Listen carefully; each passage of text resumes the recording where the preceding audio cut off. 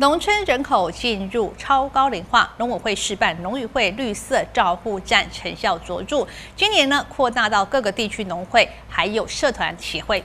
花莲县是继寿丰、凤柔及玉溪、富里四个农会之后，瑞穗乡农会也在六月一号举办了绿色照护站的揭牌仪式。照护站志工则有二十六位陪伴照护二十五位长者，一对一的配比数，让与会的长官是大为肯定。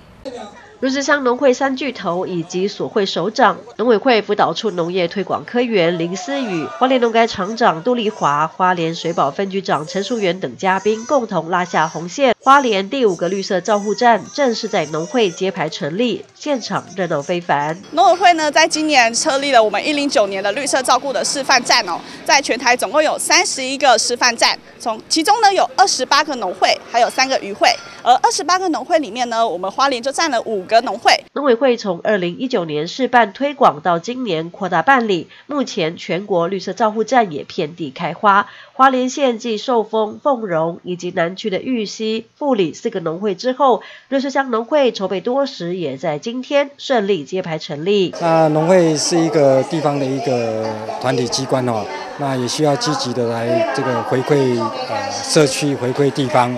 那所以，我们今年跟农委会申请了一个绿色照护的一个计划，那希望能够照顾我们呃整个呃地区的一个老农。花莲偏乡农村人口超高龄化，农会透过了绿色照护站的成立，来照顾农村老农，提供老农共学共餐、健康咨询以及身心活动等多元化的课程学习，让农村长者生活有乐趣、有照护，吸引二十五位的长者来参加。我们农农会我们总干事很有心，啊，能够在绿色服啊这个照顾站，按照我们就就先先邀邀的一些菩萨来参与这个。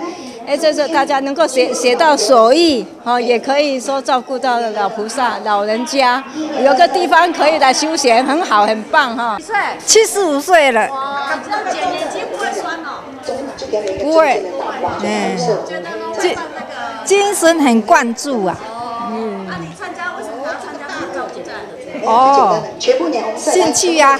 大家积极呀！绿色乡农会绿色照护站志工共有二十六位，每天陪伴照护二十五位成员，一对一的配比数，让每一位长者都能受到完善的照护与陪伴，快乐共老。记者石玉兰瑞穗采访报道。